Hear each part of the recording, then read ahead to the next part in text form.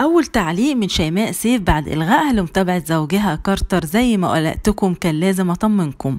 شيماء سيف تطمن الجمهور برسالة جديدة بعد ما تسببت في القلق لمتابعينها بعد إلغائها لمتابعة متابعة لزوجها محمد كارتر. وسجلت صفحة على صفحتها الشخصية في الإنستجرام عمري ما تخيلت إن غلاوتي تكون كده عندكم. كنت زعلانة وقوتوني بدعواتكم وحبكم ليا من القلب. بجد ربنا يخليكم ليا أنتوا كل أصحاب الفنانين.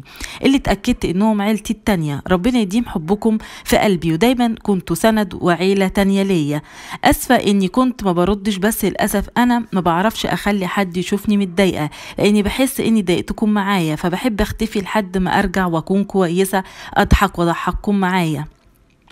الحمد لله أنا دلوقتي زي الفل وزي ما قلت لكم كان لازم أطمنكم وكل سنة وأنتم أطيب ناس في الدنيا ورمضان كريم.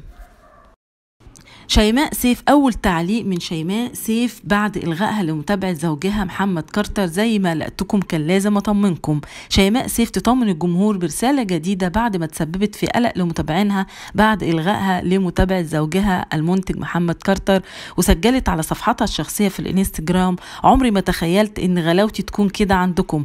كنت زعلانة وقوتوني بدعواتكم. وحبكم ليا من القلب بجد. ربنا يخليكم ليا أنتوا كل أصحاب الفنانين. اللي اتأكدت إنهم عيلتي التانية. ربنا يديم حبكم في قلبي ودايما سند وعيلة لبعض. وتابعت شيماء كلامها أسفة إني كنت ما بردش بس للأسف أنا ما بعرفش أخلي حد يشوفني متضايقة لإني بحس إني ضايقتكم معايا. فبحب أختفي لحد ما أبقى كويسة وأرجع أضحك وأضحككم معايا. الحمد لله أنا دلوقتي زي الفل وزي ما قلت لكم كان لازم أطمنكم وكل سنة وأنتم أطيب ناس في الدنيا ورمضان كريم.